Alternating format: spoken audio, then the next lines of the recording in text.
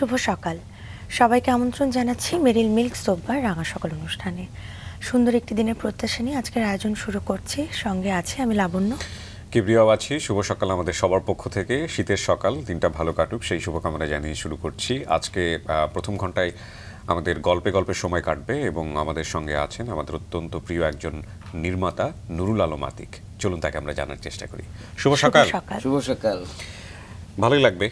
একজন নির্মাতার সঙ্গে আড্ডা দিতে এবং জীবনের অনেক অভিজ্ঞতা শুনতে। তো একটু ছোটবেলা থেকে শুরু করি শৈশবটা কোথায় কেটেছে এবং কেমন ছিল? সব কিছু মিলিয়ে যদি একটু জানতে চাই।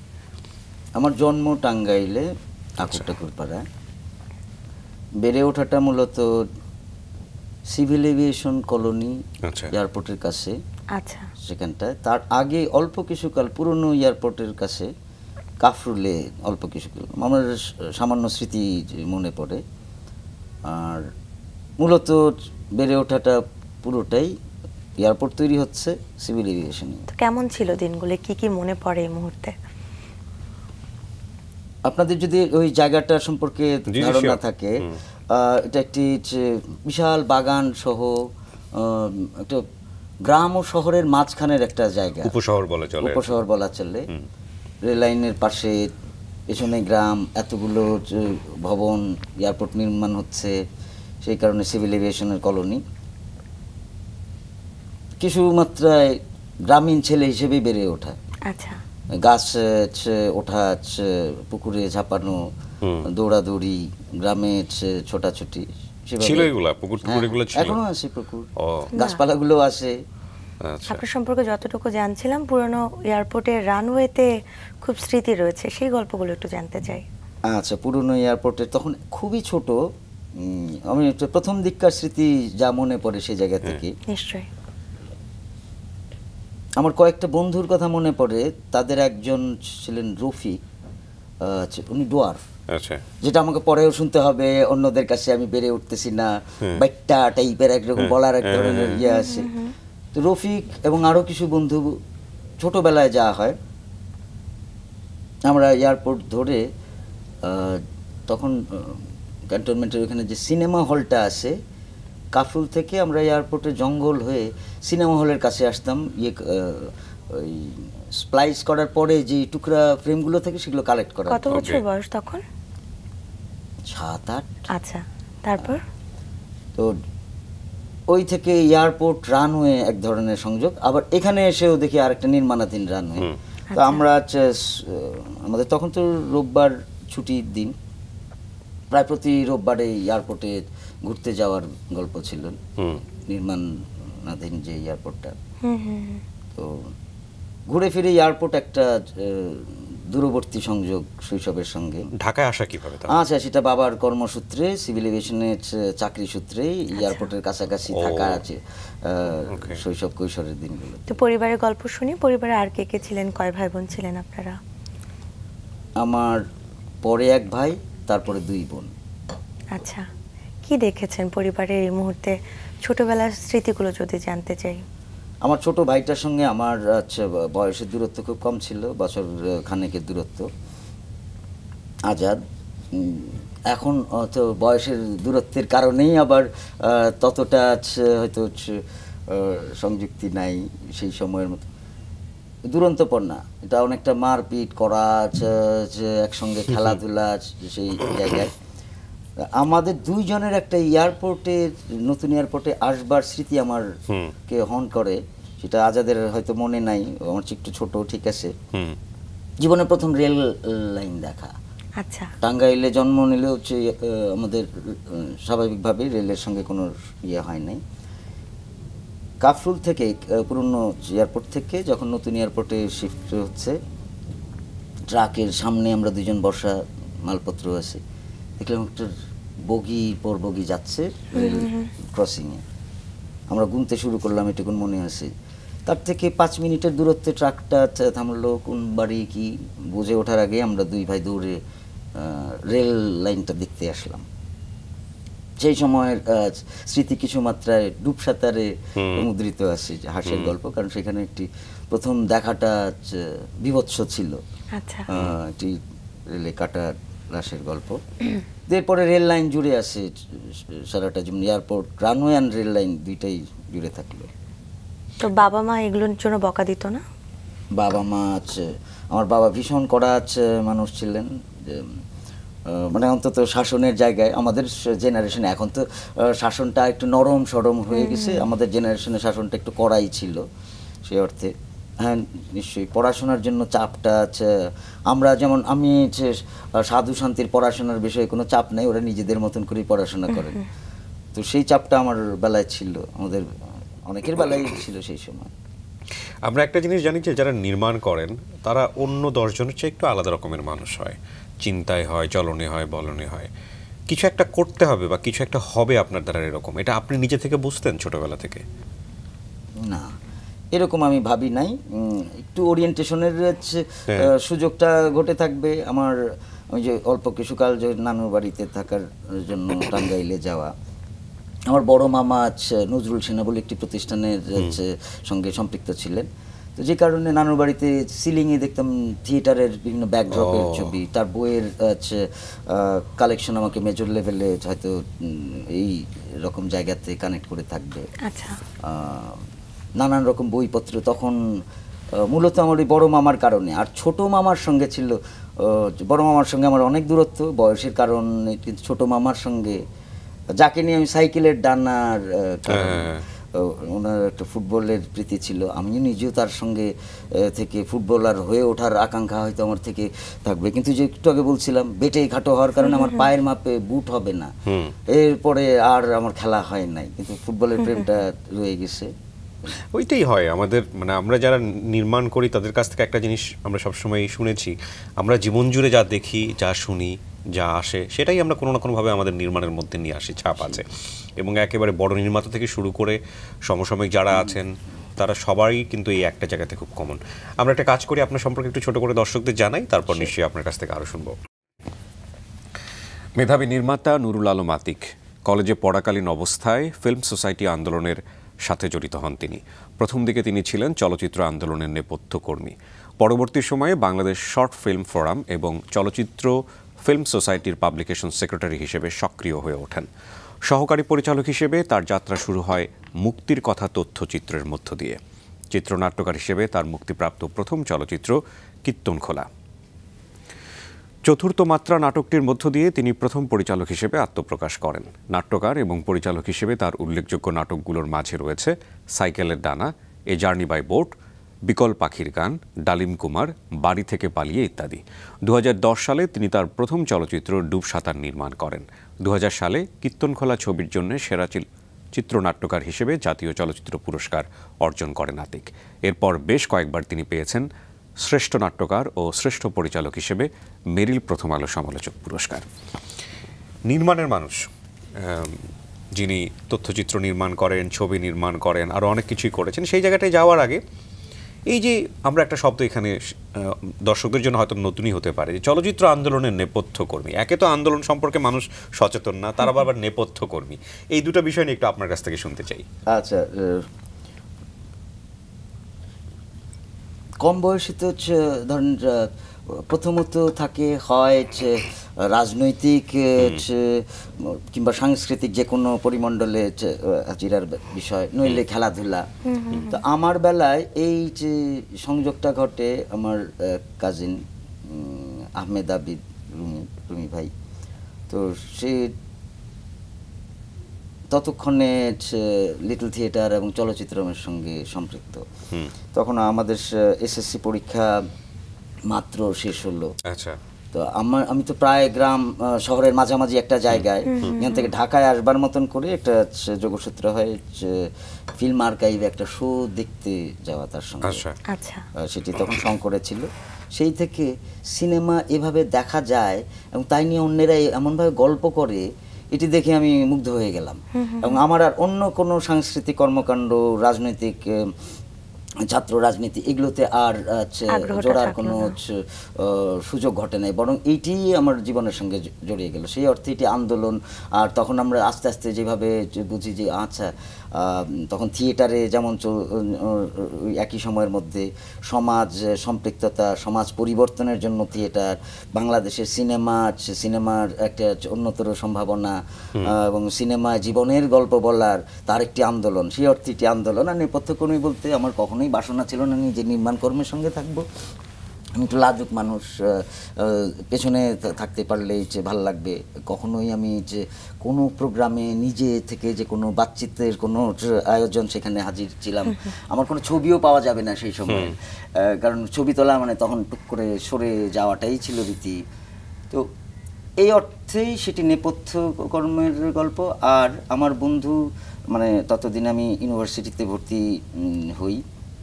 তখন আমরা একটা পত্রিকা বার করি রি নামে একটা আছে। লিটল ম্যাগাজিন বা হচ্ছে ইয়ে পত্রিকা। সেটি ছাপাছাপির সূত্রে এবং আরও এক বন্ধু নদী নামে একটি পত্রিকা করে তার দেখলাম ব্যাপক যত্ন কি করে ছাপাটা হবে। তার ফন্ট তার কাগজ তার ছাপা ওই থেকে আমার ছাপাছাপির মানুষ হয়ে ওঠা। তখন আমার একটা কাজ পাওয়া গেল যে কোনো ছাপার কাজের সঙ্গে আমি আসি সেই অর্থে নেপথ্য কর্মী এই সিনেমা আন্দোলনের। আচ্ছা। আরও কিছু গল্প রয়েছে যেগুলো আসলে বিস্তারিত জানতে চাই। আপনি অন্যদের জন্য সিনেমার পর্দা বানিয়ে আসলে সিনেমা দেখাতেন। কোনো একটা কিছু বানিয়ে কাউকে ছবি দেখানো। আচ্ছা সেটি খুবই এত কম বয়সের গল্প কিন্তু ওইটুকুন স্মৃতি আমার হচ্ছে মনে পড়ে। যখন বলছিলাম যে আমরা পুরনো এয়ারপোর্ট ধরে সাত আট বছর বয়সী বা আমার চেয়ে আসলে অন্যেরা আর একটু বড় ছিল আমি তাদের মধ্যে হয়তো সবচেয়ে কম বয়সী হয়ে থাকব। আমরা রানওয়ে ধরে সিনেমা হল থেকে যেইগুলো সেগুলো তো দেখানোর বা প্রজেক্ট করার কোনো সুযোগ নেই। চিত্রালী পূর্বাণী যে কাগজগুলো তখন রেগুলার বের হয়। রঙিন কাগজ আবার আচ্ছা সিনেমার বড় বড় মানে নায়ক নায়িকাদের ছবি ছাপা হয়। সেই ছবি কেটে নিশ্চয়ই অন্যেরা এই কাণ্ড করতেন। আমার ভূমিকা ছিল হয়তো পাঁচ পয়সা, দশ পয়সা আছে তখন টিকিটের মতন বাইরে থেকে। কাণ্ডটা ছিল বাইরের থেকে আয়না দিয়ে ওই যে একটা হচ্ছে ইটের আন্ডার কনস্ট্রাকশন কোনো একটা স্পেসের মধ্যে জুতার বাক্সে ইয়ে তৈরি করা। আমাদেরই মতন কম বয়সী আইসক্রিম খাওয়ার জন্য যে পাঁচ পয়সা পাওয়া যায় আসো সিনেমা দেখি টাইপ তো গেটে হচ্ছে এখান থেকে যে টিকিটগুলো হচ্ছে আমরা নিয়ে যাওয়া সেগুলোই সেইগুলোই দিয়ে তাদেরকে হাজির করা। এই ছিল গল্প। তার মানে চলচ্চিত্রের প্রতি টান ছোটবেলা থেকেই মোটামুটি ছিল। নির্মাণ করবেন এরকম একটা চিন্তা কখন আসলো মাথায়? নির্মাণ করব সেরকম চিন্তা। একটা তো ফিল্ম সোসাইটির সঙ্গে সম্পৃক্ততা ছবি দেখে দেখে কিন্তু নির্মাণ ইচ্ছা তখনও তৈরি হয় নাই। এদিকে আমি ঢাকা ইউনিভার্সিটিতে পড়াশোনাটা আমার ডিসকন্টিনিউড হয়। আচ্ছা এটা কেন হলো? এরকম একটা বিশ্ববিদ্যালয়ে পড়াশোনা ডিসকন্টিনিউ করলেন। প্রথমত হচ্ছে আমি বাংলা সাহিত্যে পড়তে যাই আমি হচ্ছে একটা এক ধরনের চাপ ছিল পারিবারিক ইয়ে তাদের অনিচ্ছাই আমি এগুলো করতে যাই। কিন্তু সেখানে গিয়েও ঠিক সুবিধা হচ্ছে না জীবনযাপনের এক ধরনের দূরত্ব বাংলা সাহিত্য আপনি নিজে থেকে চেয়েছিলেন নাকি পরিবার আমি নিজের থেকে চেয়েছিলাম। আচ্ছা কিন্তু ওনারা মানছিল না। আমার পা- পারিবারিকভাবে কারণ বাংলা সাহিত্য পড়ে আমি কি করব? জীবনে তো কিছু ঘটবে না আন্দাজ করা। আর আহ, সাধারণত হচ্ছে মানে আমাদের যে সময় তখন বাবা মাদের জন্য একটুখানি সম্ভাবনা দেখলেই ডাক্তার ইঞ্জিনিয়ার হওয়ার একটা তাপ চাপ তৈরি হয়। আর একটা হচ্ছে আমার যে ধরনের পরিবার তাদের সন্তানরা একটু বেটার জীবনযাপন করবে তার জন্য ডাক্তার ইঞ্জিনিয়ার হওয়াটাই তখন জরুরি। জরুরি ছিল। পরবর্তীতে তো আমরা অন্য অন্য সাবজেক্ট এখন দেখি যাই হোক। তো অনেকটা ধরেন পরিবারের অনিচ্ছাইভাবে জীবনযাপনে বা পড়াশোনার মধ্যে হাজির থাকা এবং তারপরে সেইটি নিজেও ঠিক সামলে উঠতে না পারার একটা আহ, লজ্জা নিজের কাছে হয়ে থাকবে। তো যার কারণে এটা ডিসকন্টিনিউড থাকে। আর জীবনযাপনের আমার একটা ইয়ে ছিল এটা কিন্তু একটা মানে আমাদের মতো যারা মধ্যবিত্ত সমাজে বড় হই আমরা তাদের জায়গা থেকে একটা একটা একটা মানে প্রলয়ঙ্করী সিদ্ধান্ত। কেন বলছি? যে বিশ্ববিদ্যালয়ে একটা ছেলে পড়াশোনা করতে যাচ্ছে সেটা দেশের সর্বোচ্চ বিদ্যাপীঠ যে সাবজেক্টই পড়ুক না কেন। সেখানে হয়তো ফ্যামিলিগতভাবে ইচ্ছা অনিচ্ছার ব্যাপার থাকে কিন্তু যে ডিসকন্টিনিউ করা বা অন্য কোথাও কন্টিনিউ না করা ব্রেকআপ নিয়ে নেওয়া বিশ্ববিদ্যালয়ে থাকা অবস্থায় আপনি নিজেকে নিজে মোটিভেট করতেন কীভাবে? আমার আচ্ছা, তখন ফ্রাস্ট্রেটেড হয়ে যাওয়ার কথা। এক ধরনের ফ্রাস্ট্রেশনের গল্পটা অলরেডি চলে আসছে। তারপরে সেখান থেকে রেহাই পাওয়ার জন্য আবার আমি পড়তে গেলাম পুনেতে ফিল্ম সেখানে আমি কন্টিনিউ করতে পারিনি। মূলত জীবনযাপনের এক ধরনের উচ্ছৃঙ্খলতা হচ্ছে আমার মধ্যে তৈরি হয়ে গেছিল। আচ্ছা। সেইটা উদ্ধার করতে আমার অনেকটা সময় পার হয়। ওকে। যে কারণে যে বয়সে একটা মানুষের কর্মযোগে এত কম বয়সে আমার এই নি- এই আবহের মধ্যে সম্পৃক্ত হওয়া কিন্তু নির্মাণ কর্মে এসে হাজির হয়েছে আরও অনেক পরে। অনেক পরে। আচ্ছা তো কি নির্মাণ করলেন প্রথমে? আচ্ছা প্রথম দিকে আমি তো অ্যাসিস্ট করা শুরু করলাম নানান বড় ভাই বন্ধু যাদেরকেই বলি। প্রথমটা ছিল আমরা জল ছবি বলে একটি প্রতিষ্ঠান করার সামির আহমেদ সে আমি পুনের কথা বলছিলাম। সেখানে গিয়ে দেখে বাংলাদেশের একটি ছেলে তো নাই সে কে? কারণ আমার ওর এডিটর আমি তার ডিরেক্টর হব ডিরেক্টর পালায় গেল। কি করবে সে দেশে এসে এত গল্প টল্প শুনে টুনে আমাকে খুঁজে বার করে। আমরা তখন একসঙ্গে সম্পৃক্ত হয়ে আবার আহ, কিছু করা যায় কিনা তখন সেটা কি ভারতেই নাকি না বাংলাদেশ? ফিরে আচ্ছা। আসার পরে।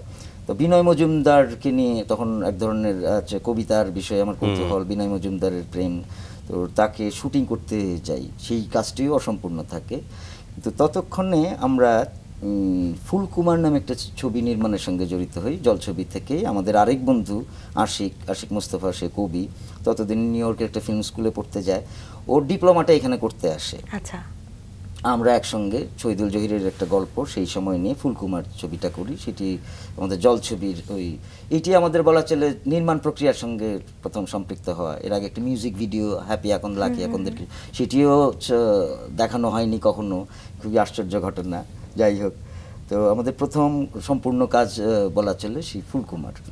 তারপরে আমি ও ইয়ে, কাছাকাছি সময়ের মধ্যে হচ্ছে আবু সাইদকে কীর্তন খোলাতে তার জন্য স্ক্রিপ্ট লেখা অ্যাসিস্ট করা সেখানেও আমি স্বামীর জয়ন্ত আমরা তাকে অ্যাসিস্ট করি। এইভাবে কাজের প্রক্রিয়ার মধ্যে প্রথম সম্পূর্ণ কাজ তাহলে ফুলকুমার তাই তো? আমার নিজের ডিরেকশনে যদি বলি সেটি হচ্ছে চতুর্থ মাত্রা। আচ্ছা। আমি অ্যাসিস্ট করি সেখানে শিখছেন বা করছেন এরকম। লিখি অ্যাসিস্ট করি সেটা ফুলকুমারে বা কীর্তন খোলাতে ওকে কীর্তন খোলা তো ফুলকুমারের আগে নির্মাণ?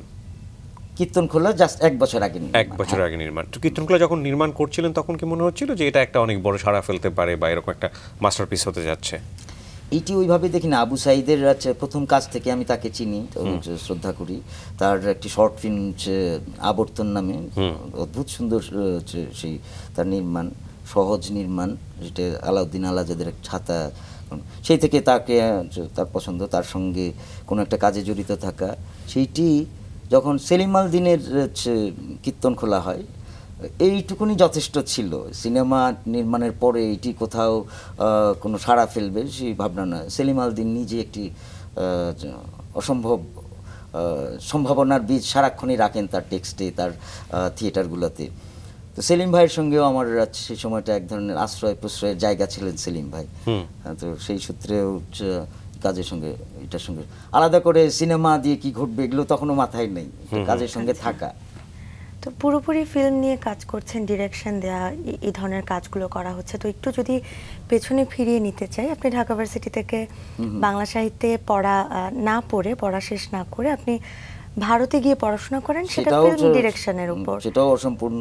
সব অসম্পূর্ণতার সেটা কি আপনি পড়তে চেয়েছেন নিশ্চয়ই যে কারণ আপনি হ্যাঁ হ্যাঁ যে সেটি তো ছিল কিন্তু ওই যে আবারও বলছিলাম যে জীবনযাপনের অসংলগ্নতার কারণে সেগুলো তখন সম্ভব হয়নি।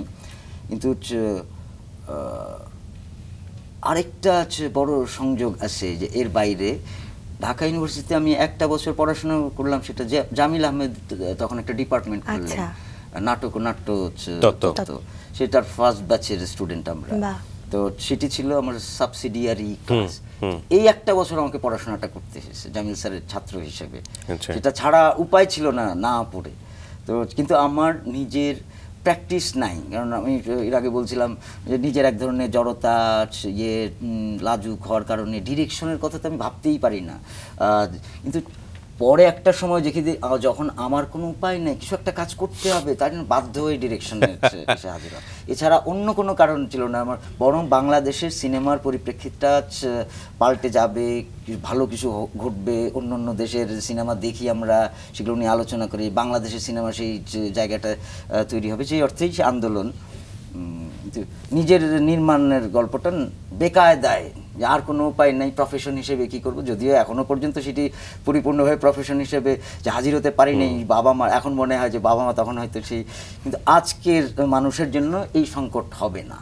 আমার আমার জন্য যে এই সংকটটার গল্প ছিল এখন আমাদের প্রাতিষ্ঠানিকভাবে এই শিক্ষার ব্যবস্থা আছে সামাজিকভাবে অনুমোদন আছে এটি অনেক দূরের নয় রাইট ট্রু যদি একটু জানি যে কি করতে হবে কিছু একটা করতে হবে ঠিক আছে জোর করেই চলে আসা নির্মাণে। এবং আপনি বলছিলেন আপনি অনেক সাই ছিলেন। যাদেরকে নিয়ে আপনি কাজ করলেন তারা কি খুব বড় ধরনের ফিগার ছিল? লাইক যদি আমি বলি যে আমাদের যাদেরকে আমরা দেখি সেলিব্রিটিস নাকি একদম শেখানো শিক্ষানবিশ? আমি হচ্ছে বরং মানে যদি পারফর্মার এদের কথা বললেন performer। আমি হচ্ছে বরং হচ্ছে যারা সেলিব্রিটি বড় ততক্ষণে তাদের দিকে তাকাইনি। আমি বরং তাদেরকে অ্যাপ্রোচ করব কি করে এই ভয়ে আমি তাদের কথা ভাবিনি। বরং কাছাকাছি কারা আছে তাদেরকে নিয়ে ভাবার পরিকল্পনাটা করেছে। আর এ তার সংযোগে তাকে খুঁজে পাও। কিন্তু অনেক বড় সেলিব্রিটিদেরকে নিয়ে আমি কখনো ভাবতে চাই না পরবর্তীতে হয়তো কারও কারও সঙ্গে একাত্র সংযোগ ঘটে থাকবে। আর তারাও আমাকে এইভাবে দেখে না যাদের সঙ্গে আমার কাজের সম্পর্ক। সেটা একসঙ্গে একটা জার্নির মতন বিষয়। হাই প্রোফাইল যাকে আপনি মনে করছেন তাকে আপনি বলছেন এইভাবে কাজটা করার জন্য সে যদি ওটা না করে সেখানে আপনি নিজেকে কতটুকু কনসিডার করছেন বা ডিস্যাটিসফ্যাকশনের একটা ব্যাপার আছে সেগুলো তো আসলে মিথস্ক্রিয়াগত একটা ব্যাপার নিশ্চয়ই। এবং সেটা নিশ্চয়ই থাকে। এইটা একটা আশ্চর্য ঘটনা। যেই মুহূর্তে আমি ক্যামেরা পেছনে তখন আমি অন্য মানুষ। তখন আর- হয় নাই। তখন আর হ্যাঁ সেটা প্রথম প্রথম কিন্তু তখন আর এই যে বিষয়টা কাজ করে না তখন কি চাওয়া সেটি স্পষ্ট করে বলে ফেলা সম্ভব হয়। আচ্ছা। কারণ ওই মোমেন্টটুকুন তৈরি করা কারণ ততক্ষণে আমি জানি যে সবার আগে পারফর্মার জানেন যে ওই মোমেন্টটা ঘটলো কি ঘটলো না। আমি প্রথম দিককার কথা একটু শুনতে চাই। একেবারে প্রথম দিকে যখন আপনি ডিরেকশন দিচ্ছেন তখন আপনার আসলে অভিজ্ঞতাটা যদি জানতে চাই যেহেতু আপনি বারবারই বলছিলেন আচ্ছা, আপনি আচ্ছা। একটু লাজুক প্রকৃতির ছিলেন। আচ্ছা সেই ক্ষেত্রে চতুর্থ মাত্রা যদি বলি, অন্যগুলো ফুলকুমারেও আমার অ্যাসিস্ট্যান্ট হিসেবে সেই একই কাণ্ডই করতে হচ্ছিল। কীর্তন খোলাতেও তাই।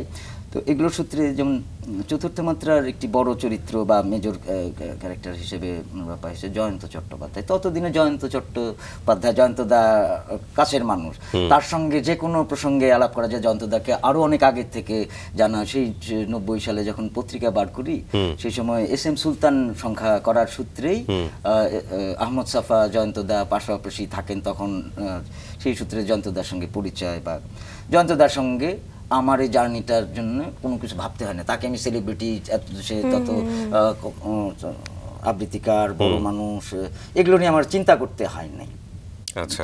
সেই কারণে আমার আহ, ওই সময়টা সহজ ছিল। কিন্তু আমি একটু আগে যেটা বলছিলাম যে আমার কাছে এখন এই বয়সের এসে তখন তো নানান কিছু দাবি করা এরকম ভাবে করতে হবে এটাই চাই। এখন মনে হয় যখন বললাম যে সবার আগে জানেন টের পান পারফর্মার এই মোমেন্টটা ঘটলো কি ঘটলো না? একজন ডিরেক্টর ক্যামেরাম্যান তার জায়গা থেকে লাইট কম্পোজিশন মুড এগুলো দেখেন। ডিরেক্টর এডিটিংয়ের জায়গা থেকে স্টোরি টেলিং এর আহ, এই পার্টে এই মোমেন্টটা কেমন? কিন্তু ওই মোমেন্টটা তখন পারফর্মার সবার আগে টের পান এই মোমেন্টটা ঘটলো কি ঘটলো? ঘটলো কি ঘটলো? আমি এতদিনে এটা হচ্ছে আন্দাজ করি যে পারফরমেন্সে কারণ আমি তো হচ্ছে লাজুক এগুলো বলছি অসংখ্য মানুষকে আমি দেখলাম যে অন্য সময় যেন তেন একটা মানুষ যেই মুহূর্তে উনি পারফর্ম করেন অন্য চরিত্রে এসে হাজির হতে হয়, তখন অন্য মানুষ হয়ে ওঠে। এইটা একটা অনেক বড় ক্যাপাসিটি আমার আশ্চর্য লাগে এই পারফরমেন্সের এই ইয়েটা যে একটা মানুষ অন্য একটা তার নিজের শরীরে অন্য একটা চরিত্র যা কল্পনা করছে রাইটার ডিরেক্টর সেইটিকে সে অনুমোদন করে আমন্ত্রণ জানাচ্ছেন তার শরীরে ওই চরিত্রটা হয়ে ওঠার এবং তার জন্য তিনি যত্ন নিচ্ছেন তাকে। এটা আমার কাছে অভাবনীয় মনে হয়। অসাধারণ। আরেকটু জানতে চাই নিজে যখন আসলে পরিচালক হয়ে উঠছেন তখন আসলে নিজেকে প্রস্তুত করছিলেন কি করে? এই বিষয়গুলো লক্ষ্য করছিলেন যে আপনি পারফর্মার হয়ে ওঠার প্রত্যেকটি মানুষকে লক্ষ্য করছিলেন যে একটা পারফর্মার আসলে কীভাবে পারফর্ম করে। তো নিজেকে আসলে কীভাবে বের করেন বা নিজের প্রস্তুতিটা কীভাবে নিয়েছিলেন সে সময়টায়? কিছু মাত্রায় তো ধরেন ওই পড়াশোনা বা এই যে ফিল্ম সোসাইটির সময়ে অন্যদের দেখে দেখে বোঝার চেষ্টা করা আর কিছু টেকনিক্যাল যে বিষয় যেমন এডিটিং নিজে নিজে শেখার চেষ্টা করা আর হচ্ছে স্ক্রিপ্ট লেখার প্রক্রিয়ার মধ্য দিয়ে আন্দাজ করা যে কীভাবে অন্যেরা করেন। তাহলে আমি করলে কেমনভাবে করা যায়? কিন্তু যে মানুষগুলোর কাজ আমার পছন্দ ছিল তাদেরকে ফলো না করাটাও একটা আছে। যেমন স্ক্রিপ্ট লেখার বেলায় শুরুর দিকে ফুলকুমার বলছিলাম চতুর্থ মাত্রায় এগুলোর লেখক হচ্ছেন শহীদুল জহির। শহীদুল জহিরের গল্প উপর ভর করে। তারপরে কীর্তন খোলার কথা সেটিও সেলিম আল দিনের সাইকেলের ডানার সময় যেমন আচ্ছা তাহলে নিজের অভিজ্ঞতার গল্প বলাটা জরুরি। জরুরি তো সেই অর্থে সাইকেলের ডানা এবং পরবর্তীতে বিকল পাখির গান কতটা নি- নিকটের এগুলো আপনারই লেখা? জি। তো যখন আপনি লিখছেন সেই সময়টাতে আপনার ক্যারেক্টারগুলো মাথার সামনে আসে? মানে ক্যারেক্টারগুলো মুভ করে লাগ আপনি যখন একটা ডায়ালগ লিখছেন তখন নিশ্চয়ই পারসেপশনে তৈরি হয় ডায়ালগটা এভাবে দিবে। আর আচ্ছা আমি সাইকেলের ডানার বেলায় আছে বলি আমরা কয়েক বন্ধু মিলে একসঙ্গে লেখাটা আছে শুরু করি। তারপরে আমার মামার কথা বলছিলাম তার আছে গল্পটা কি করে বলা যায়? হ্যাঁ। আমি যতটুকু তাকে জানি তাকে আচ্ছা কীভাবে সেই কথাগুলো বলবে সেটা তার আচরণ। যেটি শতাব্দীরও হচ্ছে প্রথম কাজ ছিল সাইকেলের ডানা। আমার ওই মামার চরিত্রেই সে অভিনয় করে। সেক্ষেত্রে চেনা মানুষের কাছাকাছি কোনো একটা চরিত্র লেখা। আবার অচেনা মানুষকে আসলে চেনা মানুষের একটা আদল আমাদেরকে তৈরি করে নিতে হয়। আহ, এরকম হয়তো। আপনি নির্মাণ করে নিয়ে গেলেন। আপনি নিয়ে যাওয়ার পরে যখন আপনি বসলেন এডিট করতে তখন দেখলেন যে আসলে জিনিসটা সেরকম দাঁড়ায়নি। এরকম তো হচ্ছে ঘটাটা খুবই স্বাভাবিক এটা সকল সময় ওয়ার্ক করে এমন না কিন্তু কখনো কখনো ওই চিন্তার চেয়ে হয়তো আরও বেটার আছে কিছু যদি ওই কমিউনিকেশনটা ঘটে। যে আমার একটা অ্যাবস্ট্রাক্ট অবয়ব ছিল চিন্তায় লেখনে সেইটি একটা ফিগারেটিভ ইয়ের মধ্যে আহ, আরেকটা নতুন প্রাণের সম্ভাবনাও কখনো কখনো দেখা যায়। সেটি হচ্ছে এই পুরো প্রক্রিয়ার মধ্যে ওই মাহেন্দ্রক্ষণটা ঘটা যেটা আমি বলছিলাম যে পারফর্মার টের পান। এই আচ্ছা। টেরটা যদি উনি পেতে চান আর দর্শকের কাছে তখন সেটা সম- ইয়ে ঘটে কানেকশনটা ঘটে। তখন আহ, পরিচালকের জন্য বা পেছনের মানুষের জন্য সকলের জন্য যিনি ক্যামেরার পেছনে আছেন যিনি এডিট করছেন যিনি সাউন্ড করবেন মিউজিক করবেন তো সকলের জন্যই বিষয়টা ঘটে। খুব কঠিন আসলে আমার কাছে যেটা মনে হয়। আবার যারা নির্মাণ করেন করতে পারেন তাদের জন্য খুব সহজ। যেমন আমি যদি বলি আমরা সাধারণ মানুষ যারা আছি যেমন আমরা যখন বিভূতিভূষণ বন্দ্যোপাধ্যায়ের পথের পাঁচালী পড়লাম তখন যে অবয়বটা তৈরি হয় পড়া যখন আমরা দেখিনি সত্যজিতের ছবিটা সেই সময়ের অবয়ব আবার সত্যজিৎ যখন সেটা নির্মাণ করলেন তখন দেখা মানে কোনটাকে ছাপিয়ে কোনটা চলে যায় এরকম একটা অবস্থা। কিন্তু অনেক সময় যেটা হয় যে ভ্রমণ কাহিনী পড়েছি একটা মনে হলো যে চমৎকার একটা অবয়ব তৈরি হয়েছে চোখের সামনে বাস্তবে গিয়ে দেখি আসলে ওটার কোনো কোনো মিল নেই। একদমই তাই। যে আপনি পথের পাঁচালী বলছেন বলে আমি সেই ইয়েটা করি। আহ, পথের পাঁচালী সিনেমা জন্য তো প্রথমেই আমার সংলগ্নতা তৈরি হবে সিনেমাটাকে আমি ইয়ে করি। পথের পাঁচালীর ধরেন ওই বাঁশবনের বিবরণ যেভাবে আছে সেটি প্রত্যেকের অভিজ্ঞতায় তার তার বাসবনটা রচিত হয়। যখন আমি কয়টা বাস তার ঘনত্ব কত দূরত্ব কত এর ভেতরে ট্রাভেল করে এটা কিন্তু লিমিটেড হয়ে যায়। ইমেজ আমাদেরকে লিমিটেশন তৈরি করে। কল্পনা টেক্সট আমাদেরকে ওই অ্যাবস্ট্রাকশন থেকে প্রত্যেকের তার তার মতন করে জার্নিটা তৈরি করে। এখানে আমাদের ফ্রেম ডিরেক্টরের দৃষ্টিভঙ্গি তার মধ্যে ওই জার্নিটার মধ্যে যে সহজ সাবলীল চলাচল থাকে সিনেমার সেই সম্ভাবনাটাকে রুদ্ধ করে। বরং সিনেমাকে চোখে আঙুল দিয়ে দেখায় দেখো বেটা এই হচ্ছে এই জিনিসটা। আহ, বা সে- দেখাতে বাধ্য করে। হ্যাঁ দেখতে বাধ্য করে। সেখানে আমরা নিজেদেরকে আহ, কল্পনা করে নিতে চাই মিলানোর জায়গা। আর ওই কল্পনাটা মেলানোর বিষয় থাকে না ওটা হ্যাঁ, কল্পনার মধ্যে। সম্প্রসারণ বা ওই জার্নিটার মধ্যে সরাসরি ঢুকে যায় তাহলে আমরা চলচ্চিত্রের এটি একটি সীমাবদ্ধতা। সীমাবদ্ধতা কিন্তু ওইখানেও যিনি নিজেকে ছাপিয়ে যান যে না ঠিক আছে আমি অন্তত দশ জনের মধ্যে আট জনের কল্পনাকে ধরতে পেরেছি। এটাই হচ্ছে পরিচালকের সার্থকতা যদি ভুল না বলে কিংবা তার একটা আরেকটা জার্নি থাকে জীবনের অভিজ্ঞতার থেকে তিনি এমন কিছু হয়তো আমাদেরকে জানান দিতে চান তার চিন্তার তার দর্শনের সেটি এই প্রক্রিয়ার মধ্য দিয়ে হয়তো সেটি হাজির করতে চান। চেষ্টা করেন। চেষ্টা করেন। আপনার কাজের অভিজ্ঞতা আবার একটু আসতে চাই। আপনি চলচ্চিত্র নির্মাণ করেছেন এবং প্রথম চলচ্চিত্র ডুবসাঁতার সেখানকার অভিজ্ঞতা নিয়ে একটু শুনব। আমার একটা সময় মনে হলো যে আমি এটা, বড় মানুষ তাদের লেখা সেগুলোকে ভর করে একটু কিছু করার চেয়ে আমার কাছে মনে হলো যে কতটা নিজের ব্যক্তিগত অভিজ্ঞতার সঙ্গে সম্পৃক্ত করে গল্পটা বলা যায়। মহৎ সাহিত্য থেকে একটু কিছু চিত্রায়নের চেষ্টা না করে ব্যক্তিগত অভিজ্ঞতা আশপাশের মানুষজন খুব সাধারণ হোক সেটি যদি বলা যায় তাহলে সেটা সব নিকটের হয়। আমার ধারণা সেগুলো কাজও করে। হ্যাঁ। নানান কিছু সাইকেলের ডানাটা কেন আমার সময়ের তরুণদেরকে একটি মফস্বল শহর তার মধ্যে এরকম কিছু মানুষজন সেটি তাদেরকে কানেক্ট করে সহজেই কারণ এটি খুব কাছের একটি গল্প। একই রকমভাবে বিকল পাখির গানের বেলায় যেটি ঘটে এটি এয়ারপোর্টের কাছাকাছি একটি আমার যেহেতু রানওয়ে এগুলো এয়ারপোর্টের কাছাকাছি বস্তি এটি দেখবার অভিজ্ঞতা আছে সেটি আমার জন্য নৈকট্যের। এমনিতেই প্রত্যেকটা লেখ- লেখকেরই একটা সিগনেচার থাকে যে না, আমি এই যে গল্পটা বলছি বা লেখক যদি না বলে, আমি যদি বলি ফিল্ম মেকার যারা আছেন, যে ছবি দেখলে মোটামুটি বোঝা যায় যে এটা এটা অমুকের ফিল্ম হতে পারে। নিশ্চয়ই আপনার কাজের মধ্যেও এরকম স্বকীয়তার একটা ব্যাপার স্যাপার আছে যে আপনি আসলে এই যে একটা জিনিস নির্মাণ করছেন, সেই নির্মাণের মধ্য দিয়ে আপনি আসলে কী কী দিতে চান? মানে মেসেজটা আসলে কি? যে কোনো নির্মাণ হতে পারে কমন মেসেজ আচ্ছা সিগনেচারের বিষয়টা আমি বলতে পারব না আচ্ছা, কারণ আমার মনে হচ্ছে আমার নিজেরও এখনও সিনেমার ভাষা রপ্ত হয় নাই আমি জার্নিটা এখনও করে যাচ্ছি আমরা এক একটা কাজ এক এক রকমের চেহারা নেয়। এই জন্য আমি এটা বলতে পারব না যে আদ- আদৌ কোনো সিগনেচার বাকি। যে একটা একটা নাটক আমি দেখলাম তো আমাকে তো প্রথম কথা হচ্ছে আমাকে ধরে রাখতে হবে বা একটা একটা একটা নির্মাণ আমি দেখলাম সে আমাকে ধরে রেখেছে। দিন শেষে তো নিশ্চয়ই কিছু না কিছু থাকে। এখন আচ্ছা দিন শেষের যে- যে গল্প সেটি ধরেন অনেক ক্ষেত্রেই আমার বেশিরভাগ কাজ টেলিভিশনের জন্য। আমি টেলিভিশনের জন্য লম্বা সময় ধরে কাজের নাম্বার কম কিন্তু হচ্ছে যতগুলোই কাজ করে প্রত্যেকটা আমি যত্ন ভরে করার চেষ্টা করছি। হ্যাঁ। সেখানে আমার বলবার কথা কি সেটা বলা মুশকিল বলে আমি কি বলব ওটাই। বলবার কথা আমার একটাই যে আমি এই মোমেন্টটা নিয়ে আমার হচ্ছে মধ্যে কিছু আমাকে ভাবায় আমাকে হচ্ছে আকর্ষিত করল আমাকে এটা নিয়ে ভাবতে বাধ্য করল এটা আমি একটু শেয়ার করতে চাই অন্যদের। শেয়ার করাটাই আমার হচ্ছে চেষ্টা যেন আমি ঠিক ভাবে নিজের কাজটুকুন করতে পারি। বেশিরভাগ ক্ষেত্রেই সেটা ওয়ার্ক করে না। অনেক মানুষের সঙ্গে সেটা কানেক্ট করে না। আহ, কোনো কোনোটা হচ্ছে হয়তো অল্প কিছু মানুষকে একটু বেশি মানুষকে কানেক্ট করে। আবার কোনোটা হয়তো হচ্ছে কাউকেই কানেক্ট করতে পারল না। এরকম কাণ্ড আফসোসের জায়গা আছে এই যে কানেকশনের বিষয়ে?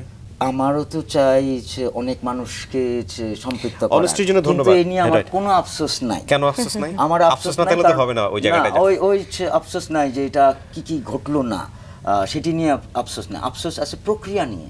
আচ্ছা। সেটা নিয়ে আমি এরকম এরকম ঘটবার কথা সেটি ঘটছে না কেন? কিন্তু এই যে এটা তো ব্যর্থতার আচ্ছা, গল্প আচ্ছা, কিন্তু সেই ব্যর্থতা নিয়ে আমার আফসোস নাই।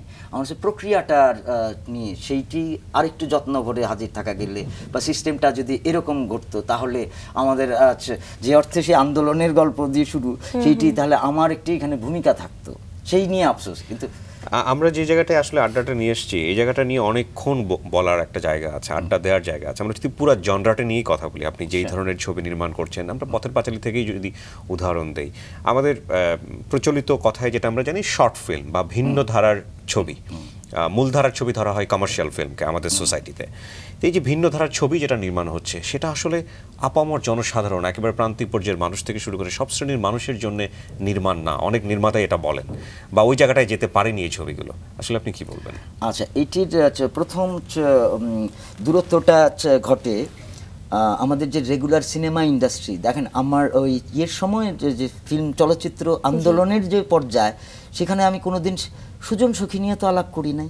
হ্যাঁ। অথচ কবরী যে ফারুক আমার অন্তরে কারণ প্রথম দেখা স্মৃতিতে স্পষ্ট আছে মা খালার সঙ্গে বসে দেখছিলাম হ্যাঁ। সেই মামার সঙ্গে তার বন্ধুদের সঙ্গে দেখ। এই ছবিটা নিয়ে তো এখানে গল্প হয় না। তার মানে হচ্ছে আমাদের রেগুলার যে ইন্ডাস্ট্রি তার সঙ্গে আমাদের এক ধরনের দূরত্ব। দূরত্ব একটি দেয়াল যেন অদৃশ্য দেয়াল রয়েই গেছে। চিরকালই রয়ে গেল। আহ, এখন অবশ্য সেই দেয়ালটা ভেঙে গেছে। আজকের জেনারেশন এখন যারা সিনেমা করবেন তাদের মধ্যে কিন্তু এখন আর এফডিসির দেয়াল অল্টারনেটিভ বলে কিছু নাই। আচ্ছা। এখন যে ছবিগুলো মানুষকে কানেক্ট করবে সেই ছবিগুলোরই যে কারবার। এখন আপনি যেটা হচ্ছে বলছিলেন যে ওই সময়ের দেখেন জহির রায়হান আলমগীর কবিররা বাংলাদেশের জন্য স্বাধীন বাংলাদেশের জন্য যেই সিনেমার কথা ভাবছিলেন জহিরানকে তো আমরা অল্প দিনের মধ্যে হারাই ফেললাম আহ, আলমগীর কবিরও সেই কাণ্ডটা বেশি দিন করতে পারলেন না। এবং তাকে হচ্ছে সরে যেতে হলো রেগুলার ইন্ডাস্ট্রি থেকে। সরে এসে এই তারেক মাসুদ মোর্শেদুল ইসলাম তানভীর মকাম আমাদের যারা সিনিয়র বড় ভাইরা তাদেরকে আহ, সঙ্গে পেলেন তার সহযাত্রায় বা তারই মানে শিক্ষকতার মধ্য দিয়ে আমি শুনি যে করা। ভাইকে আমিও তার শেষ সময়ে কয়েকটা দিন পেয়ে থাকব। উম, আমার কাছে মনে হয় যে সেই সময়ের প্রথম ইয়েটা ছিল যে সে সময়টা একটু হচ্ছে রেগুলার ইন্ডাস্ট্রিতে তাদের কাজ করার আচ্ছা, হয়তো সুযোগই ছিল না। একজন আলমগীর কবিরের মতন চৌকস মানুষও যখন এখান থেকে বেরোয় আসতে হয় সেটি একটি কারণ হয়ে থাকবে। আরেকটা থাকবে যে ধরনের ছবি নির্মাণের প্রক্রিয়া তাতে এই ফিল্ম সোসাইটি ওরিয়েন্টেড মানুষের যে ওরিয়েন্টেশনটা হয় বিশ্ববিখ্যাত সিনেমার দর্শন সিনেমা দিয়ে যে, সমাজে শুধু বিনোদন নয় আরও কিছু এই যে ওরিয়েন্টেশনের কারণেই এক ধরনের দূরত্ব তৈরি হয়। পরিবর্তনগুলো কিন্তু আপনি যেটা বলছেন যে জনসংযোগের গল্প আপনি আগামী বলেন হুলিয়া বলেন বা তারেক মাসুদের মুক্তির গান বলেন বা আচ্ছা, এগুলো কিন্তু জনসাধারণের সঙ্গে এই নির্মাণ প্রক্রিয়ার অংশ হিসেবে প্রদর্শন প্রক্রিয়াও জড়িত ছিল। তখন এই কানেকশনটা ঘটে থাকবে। কিন্তু এই বড় পর্দায় তখন সিক্সটিন মিলিমিটারে তাদের ছবি বানানোর প্রক্রিয়া সেই সংযোগটা ছিল। আলোচনা আড্ডা অনেক দূর পর্যন্ত নিয়ে যাওয়া যায়। আরেকটু যদি কাজের জায়গাতে আসতে চাই আপনার সম্প্রতি যে নির্মাণটা লাল মোরগের ঝুটি এটা নিয়ে একটু শুনতে চাই কবে নাগাদ আসতে যাচ্ছে? এইটি বাংলাদেশ সরকারের তথ্য মন্ত্রণালয়ের অনুদানপ্রাপ্ত একটি ছবি সেটি নির্মাণ প্রক্রিয়া শুরু হয় বেশ কয়েক বছর আগে কিন্তু এটা মুক্তিযুদ্ধের ছবি। আমরা সেই অর্থে সৌভাগ্যবান যে বাংলাদেশের পঞ্চাশ বছর পূর্তির সময়ে ছবিটা রিলিজ করা যাচ্ছে। সেটা ডিসেম্বরের দশ তারিখে। আচ্ছা। বিহারি অধ্যুষিত একটি এলাকার গল্প। আমরা এতক্ষণ যে এয়ারপোর্ট এয়ারপোর্ট বলছিলাম সেই এয়ারপোর্টের একটা হচ্ছে ব্রিটিশদের করা যে এয়ারপোর্টটাকে রেনোভেট করার জন্য আর্মি ওই বিহারি অধ্যুষিত এলাকায় কিছু মানুষজন ধরে এদেরকে হচ্ছে কাজে লাগায় এবং তাদের কিছু মানুষজনকে সত্য ঘটনা অবলম্বনে? এটা কিছু মাত্রায় একটা ফিকশন কিন্তু এর একটা যোগসূত্র আছে এই ফ্যাক্টের উপরে।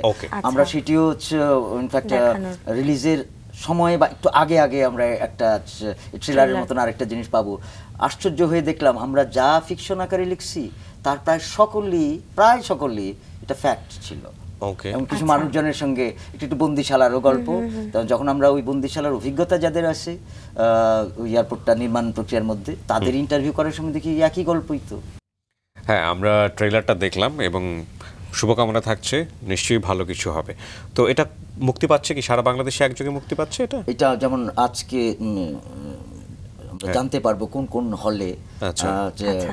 ঢাকায় নারায়ণগঞ্জ চিটাগং যেমন বগুড়া ওই যে খুলনাতে হচ্ছে হবে সেটা- এটার প্রোডাকশন হাউসকে এইটার প্রোডাকশন হাউস আমাদের মানে মাতিয়া বানুসুকু এটার প্রযোজক আর হচ্ছে পাণ্ডুলিপি কারখানার প্রোডাকশন ওকে যেহেতু তথ্য মন্ত্রণালয় থেকে অনুদান দেওয়া হয়েছে সুতরাং ওখান থেকে কি কোনো বাধ্যবাধকতা থাকে যে এটা করতে হবে ওটা করতে হবে এতগুলো জায়গায় মুক্তি দিতে হবে বা এরকম কোনো আচ্ছা আমাদের সময়ের যে ফেজ তাতে দশটা হলে মুক্তি দেওয়ার একটা হচ্ছে, Contract ছিল। আচ্ছা। ছিল। ওকে যাই হোক আমরা নিশ্চয়ই আরও অসংখ্য হলে বা যেমন এর বাইরে আমরা এই মাসটায় যেমন রেগুলার হল রিলিজ মার্চ মাসে আমরা ইউনিভার্সিটি কেন্দ্রিক রিলিজের জায়গাতে যাব। এগুলো যে পরিমাণ অর্থলগ্নি হয় সেটা রিটার্ন আসে কীভাবে আসলে? এটা একটা মুশকিলের গল্প যে আমাদের রেগুলার সার্কিটের থেকে রিটার্ন আসার প্রক্রিয়াটা খুবই সীমিত। আর আমরা যতটা নির্মাণ ব্যয় সেটি সরাসরি দর্শকের কাছ থেকে, দেখানোর থেকে ফেরত আনাটা প্রায় দুরূহ হয়ে আসে। আর এই ধরনের ছবির বেলায় আরও দূরবর্তী। এই ধরনের ছবি বেলা আচ্ছা এই ধরনের ছবি বলতে যে অসংখ্য হাজিরা থাকে না। এই ধরনের ছবি বলতে এটা মুক্তিযুদ্ধের ছবি। হ্যাঁ। সরকারি অনুদান মানেই এই রকমের ছবি হয় বলে দর্শকের এক ধরনের ধারণা থাকে। হ্যাঁ। তারপরে মুক্তিযুদ্ধের ছবি মানে তারা অলরেডি যা দেখে ফেলছেন ও আচ্ছা বুঝছি। অনেকটা। এইটি কারণেই ধরনের দূরত্ব এই চ্যালেঞ্জগুলো কি আসলে উত্তরে যাওয়ার কোনো সম্ভাবনা আছে? যদি উত্তরে যেতে হয় তাহলে আসলে কি দিয়ে উত্তরে যেতে হবে? আর সেটি হচ্ছে আমাদেরকে হচ্ছে ওই সরাসরি সংযোগের জন্য আমাদের ইন্ডাস্ট্রি চেইনটা আবার নতুন করে তৈরি হওয়া নতুন করে সচল হওয়া। এতক্ষণে আপনারা জানেন আমাদের রেগুলার ইন্ডাস্ট্রি সচল নাই। এই যে হ্যাঁ। সেই অর্থে আমাদের হলগুলো মানে শুকনা নদী শুকানোর মতন করে বা অন্যদিকে বয়ে গেল- গেল। সিনেপ্লেক্সগুলো বা নতুন জেনারেশনের যে ফিল্ম নির্মাতারা আছেন তাদের কাজের প্রতি কিছু কিছু কৌতূহল তৈরি হচ্ছে কিছু মানুষের। কিন্তু এইটার বিস্তারের জন্য প্রত্যেকটা বড় শহরে সিনেপ্লেক্স থাকা দরকার যদি সেরকম ভাবে বলি। আর নইলে যে ওই রেগুলার সার্কিটে যে হলগুলো ছিল সেগুলোর পুনর্বিন্যাস প্রয়োজন ডিস্ট্রিবিউশন সার্কিটের আসলে কি তাই? মানে এটা তো আমরা দেখি যে এই চেনটা সারা দুনিয়াতেই ভেঙে পড়ছে। এবং এই যে আপনি আচ্ছা। বড় বড় সিনেপ্লেক্সের কথা বলছেন এখন ছবি আমরা দেখি নেটফ্লিক্স নেটফ্লিক্সে হ্যাঁ এখনও আমাদের কিছু শহরকেন্দ্রিক জীবনযাপনে হয়তো মানুষ এটাতে অভ্যস্ত। কিন্তু যেভাবে ব্রডব্যান্ড গ্রাম অঞ্চলে চলে যাচ্ছে তাতে অদূর ভবিষ্যতে ওয়েব সিরিজই হয়তো বা মানে এন্টারটেনমেন্টের সবচেয়ে বড় জায়গা হবে বলে অনেকেই মনে করছেন। তো সেখানে আসলে এই পরিবেশনের ধরনের জায়গাটা কি আসলেই আর কোনো বাধা হয়ে থাকবে? আপনার কি মনে আচ্ছা এটি শুধু বর্তমান নয় এটা ভবিষ্যতেরও ইশারা যে আমরা ভার্চুয়ালি কানেক্টেড হব প্রত্যেকটা অনুষঙ্গেই. জীবনযাপনের আর এন্টারটেনমেন্টের গল্প তো আরও ইয়ে। আপনি দেখেন আম, আমাদের তবু কিন্তু আকাঙ্ক্ষা ফুরায় না। পরস্পরের সামনে নিঃশ্বাসের দূরত্বে চোখে চেয়ে কথা বলবার আকাঙ্ক্ষা আমাদের ফুরাবে না সহসাই। বরং একটা সময়ে হয়তো মনে হবে যে এই জীবনে আমার একটু শ্বাস নেওয়ার দরকার কাউকে শ্বাস প্রশ্বাসের মধ্যে রাখতে চাই। আপনি দেখেন যে ইন্ডিয়াতে কিন্তু হলের দর্শক কমে যাচ্ছে না ওটিটির এই প্ল্যাটফর্মের কারণে। অন্য অন্য যে আমাদের বেলায় এটা ঘটবার কারণ হচ্ছে আপনি চিন্তা করেন যে একটি আপনি একটি ছবি দেখতে যাবেন। সেই ছবি দেখার তো টিকিটের গল্প টিকিটের গল্প না হয় বুঝলাম। কিন্তু এই যে আপনি সিনেমা হল পর্যন্ত যাবেন আসবেন সিনেমার সময় যাওয়া আসার সময় এবং এই যে রাস্তাঘাটের এই নানান রকমের বিপত্তি এবং সিনেমা হলে বসার পরের যে বিপত্তি। হ্যাঁ বসার পরের যে বিপত্তি যে আমরা যা বানাচ্ছি সেগুলো দেখার জন্য উনি আসতে রাজি না। রাজি নন।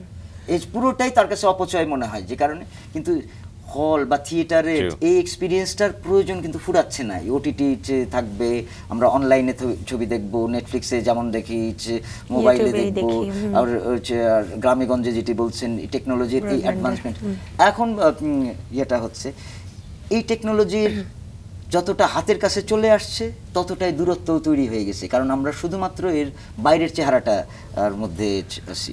আমার ধারণা এই পর্বে আস্তে আস্তে করে যখন আমরা এগুলোতে অভ্যস্ত হয়ে যাব তখন আবার মনে হবে যে ওকে ঠিক আছে। কিন্তু এমন নয় যে সিনেমা চিরকাল এরকমভাবে থিয়েটারে চলবে। এরপরে হয়তো সিনেমার প্রয়োজনই থাকবে না। হ্যাঁ, আপনি হচ্ছে যে এন্টারটেইন হওয়ার জন্য ভার্চুয়াল ওয়ার্ল্ডই আপনার জন্য যথেষ্ট। যে সিনেমাটা আপনি দেখতে চান তার ওই মেকানিজমের হচ্ছে আপনার জন্য হচ্ছে সফটওয়্যার তৈরি থাকবে। নিজের মতো করে নিজের আপনি মতন করে করে আপনি ভাববেন সিনেমাটা নির্মিত হবে তাতে আপনার নিজের ছবি নিজেই বানান। আমরা এইভাবে বললাম নিজের ছবি নিজেই বানাবেন নিজেই কনজিউম করবেন।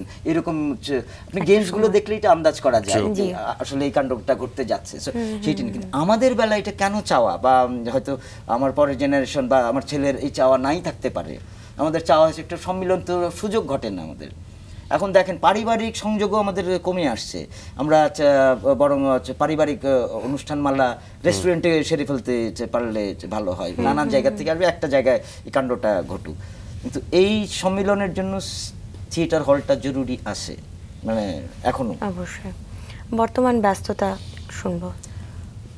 বর্তমান তো এইটার আমার তো অভিজ্ঞতা ছিল না কোনোদিন আছে। লালমোহরের ঝুটি আমাকে দেখাতে হবে। এই দেখানোর প্রক্রিয়া যেহেতু ঘটনাচক্রে এটির প্রডিউসার এন্ডে থাকা। এইটা নিয়ে এক ধরনের ব্যস্ততা। আর আমি তো লম্বা সময় কাজে মানে আমার কাজ দেখা যায় না একদম কাজ করছিলাম। আরও দুইটি ছবির নির্মাণ। কমপ্লিট আরেকটা শেষ পর্যায়ে. আচ্ছা। মানুষের বাগান আর হচ্ছে পেয়ারার সুবাস। প্রায় একই সময়ের তিনটা ছবি নামগুলো একটু ব্যতিক্রমী নাম। প্রত্যেকটা নামই কিন্তু খুব সাইকেলের ডানা তারপরে এই যে লাল মোরগের ঝুটি পেয়ারার সুবাস। পেয়ারার যে সুবাস, পেয়ারার সাথে সুবাস শব্দটা আমরা কখনো শুনি নাই। প্রত্যেকটা জায়গাতে ইউনিক হওয়াটা বোধহয় একজন নির্মাতার জন্য সবচেয়ে বেশি জরুরি। সময়ের একটা বেষ্টনী আছে, সেই বেষ্টনীতে আমরা বাধা পড়লাম এবং আমাদের সময়টা শেষ হয়ে গেল বাট আপনার সঙ্গে আড্ডা দিয়ে আমাদের খুব ভালো লেগেছে এবং কাজের জন্য অনেক অনেক শুভকামনা থাকছে। অনেক ভালো থাকবেন আপনি। আপনাদের দুজনের সঙ্গে আমি অনেক গল্প করলাম অনেক উচ্ছ্বাসের সঙ্গে। দর্শকের জন্য আমন্ত্রণ। আপনারা লাল মোরগের ঝুটি দেখবেন। মুক্তিযুদ্ধের ছবি। কিন্তু মুক্তিযুদ্ধের ছবি বলে এটাকে দূরে রাখার চিন্তাটা রেখে একবার একটু উকি দিয়ে দেখেন। হ্যাঁ।